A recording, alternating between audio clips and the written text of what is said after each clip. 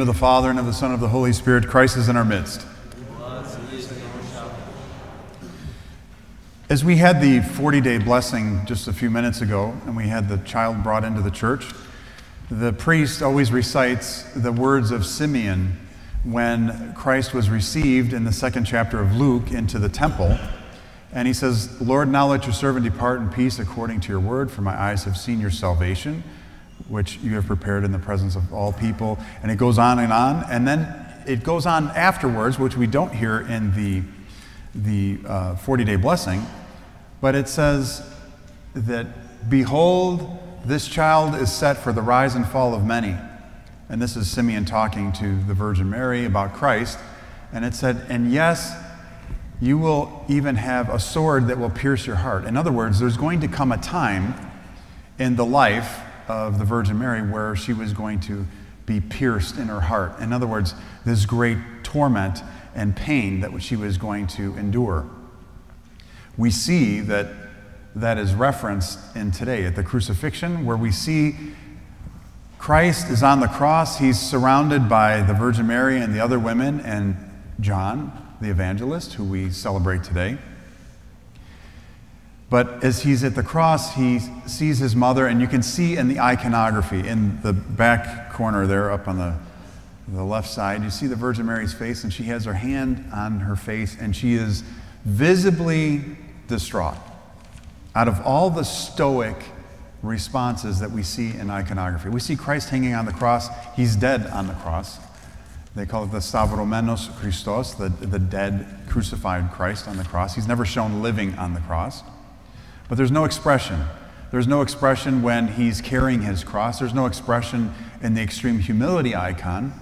There's no expression in the resurrection icon. It's not like he's smiling and like this did it, you know. It's very stoic. In fact, many of the icons, you'll see that there's these events that happen, but there's no expression on the faces of those in the icons. With one of the few exceptions, the Virgin Mary at the crucifixion of Christ, where she is shown experiencing the sword that pierced her soul, pierced her heart, that went through her, to see the Christ that, as the fathers of the church uh, mentioned, St. Cyril of Alexandria speaks very clearly about it. He says, She saw that Lazarus, the friend of Christ, was resurrected from the dead. She saw the miracles of the blind man and the demoniacs being healed, and the boy who was dead on the, the bier, the pallet, with his uh, mother walking in funeral procession, and he touches the boy and he comes back to life. She was following, watching, and seeing all these great miracles. And then, as the fathers of the church say, she looks up and says, Why? Why is this happening? Why are you allowing this to happen? And Christ, in total control from the beginning to the end of his life, and even after and before his life, God being in perfect and utter command of everything that was going on, knew that this was the moment where she was suffering, where she was, even some would say, disturbed and tormented by the thoughts of why is this not changing? Why is he not coming down? Why is he not saving himself? Even though she is in absolute silence, it's seen in the icon form of this great sadness, this sword that pierces her own heart. And then what do we see? We see Christ seeing her, knowing the hearts of all, and said to John, St. John, the evangelist, Behold your mother, behold your son. Not as a mere help my mother get through things, but as a reminder that St. John has one of the greatest dispositions as an evangelist. In fact, if you look at the four Gospels, there's Matthew, Mark, Luke, and John. Matthew, Mark, and Luke are very similar. They're called synoptic Gospels. They're very similar in their stories. But St. John is very different. It's a very different gospel with a very different perspective. And the perspective that we see in the Gospel of John is that the perspective is of one who lived an entire life, saw everything, and then towards the end of his life writes this gospel, but also writes the book of Revelation. So he sees not only the vision of how things were going to end, but he saw the life of the church develop in the early years. He was young, very young, when he was following Christ. In fact, that was for those who have ever seen the Da Vinci Code or anything like that, you know, to kind of say, oh, that's an interesting movie. And they say about Mary Magdalene in there and that she was one of the disciples. No, it was the fact that in Renaissance uh, uh, pictures and, and paintings, that those who were young were shown as almost androgynous, with long hair, curls, and very soft face, to show that they had not grown and they had not grown into a beard. And many times you'll see with St. John, as he is there in the icon of the Transfiguration in the center, looking down, there's no beard. Why? Because he was very young. And we see St. Peter, the older one, with the gray beard. So we see that he lives his life, he lives to over 100 years old, and he writes towards the end of his life about the gospel and all the things that he had seen. But he writes from a disposition of one experiencing, especially that event, the event of the Transfiguration, the event that changed him, the event that changed his whole perspective of the, the life of Christ, the death, the suffering, the betrayal, everything. Because, as Christ mentioned in the gospel last week, there are some standing here that will not taste death before they see the glory of God. What are they, what's he talking about? He's talking about the transfiguration. So he sees the glory of God in the transfiguration. And from that event, it changes his whole disposition. And that's why we have St. John writing from the disposition of the transfigured Christ, the glory in Christ, the, the divine glory that he sees, not only at the transfiguration, at the resurrection, he sees it at the Pentecost. I mean, he runs with St. Peter. They're running to the tomb, and he's young, and he outruns St. Peter, right? And he gets to the tomb, and he's like, whoa, this is, this is, I, and he doesn't go in first. He lets St. Peter go in first. But he outruns him because he's young. He sees Christ on the shore from the boat because he's young. His eyes were good. And he grows and takes care of the Virgin Mary till her last breath, and then becomes the last gospel that we have in the Bible, and the one who gives us the most interesting, the most confusing, the most dabbled in uh, book in the New Testament, the book of Revelation, what everybody wants to know. When is it going to happen? And as a professor used to tell me all the time, he said, The book of Revelations is irrelevant to you. And he would tell the class that. And he would say, If you go out on the highway in the middle of the night in, in dark clothing and you get run over, that's your book of Revelation right there. That's the end of your world. It doesn't matter when Christ comes back, you're done at that moment. So he said, Live as if every day is your last day and you'll be prepared. He said, Don't worry about so much all the, the symbolism in, in the book of Revelation.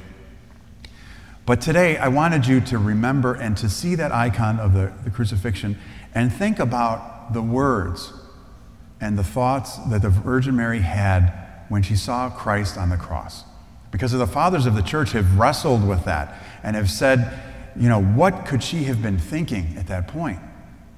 What was she experiencing? And Christ, knowing and in absolute control, sees and says, My mother needs not only a caretaker, but she needs someone to be there who's going to have the disposition of the transfigured Christ, never to lose the perspective that St. John had. And that's why St. John is so clear. And he says, He who has seen it has borne testimony, and we know he's, his witness to be true. He's, because he's talking about himself. He says, I've seen it firsthand. And I think that matters to a lot of people, uh, even in today's day and age. It's like, have you seen it firsthand? And if you've seen it firsthand, there's some weight to be behind whatever your comments are. And St. John was saying that. He says, I've seen these things, and I am bearing testimony to these things, and I know that they're true, so that you may also believe that Jesus is the Christ. It's very clear. But Christ says, Don't let my mother be alone. Don't let her uh, be, become a widow that is begging. Take care of her as if she is your own mother. And, mother, this is now your son, so follow him Help him, listen to him, let him care for you. It's a beautiful transition of Christ not to lose the element of family being hung on the cross. You know, we think about it. I mean, we think about when we do things. You may do yard work and you come in and you're like, oh, it's, is hot outside and you're sweating and you're tired.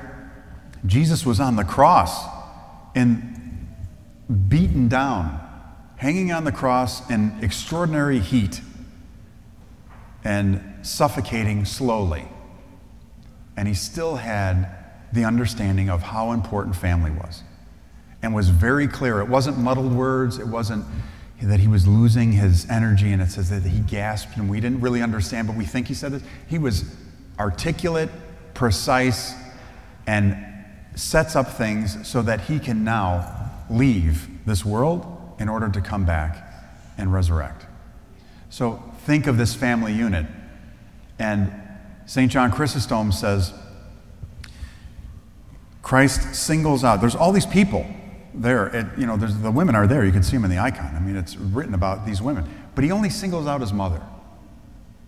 That relationship with his mother, that beautiful relationship, and giving honor to her, time, respect, and, and overall precedence over anyone else who was there.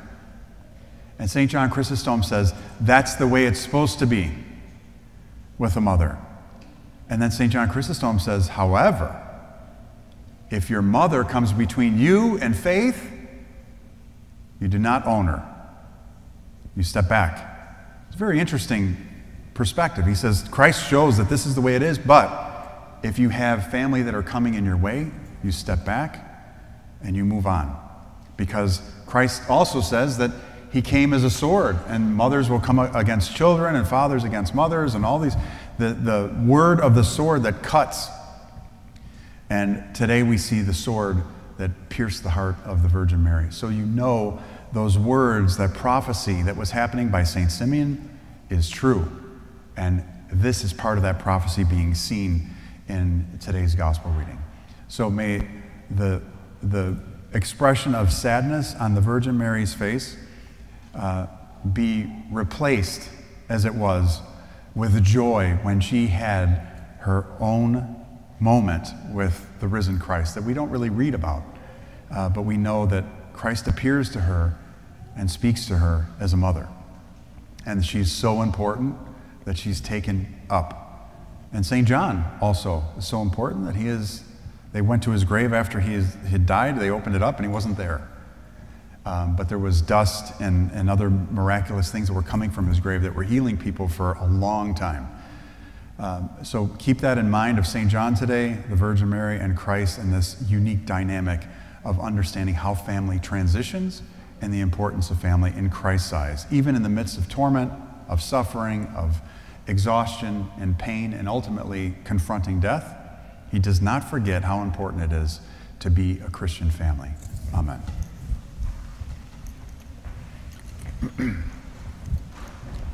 Όπως υποδοκράτου σου πάνω τα φύλλα τόμνης η δόξα να αναπέμπομεν, το Πατρί και το Υιό και το Αγίο Πνεύμα την ίνκιαη και Ιησούς αιώνας των αιώνων.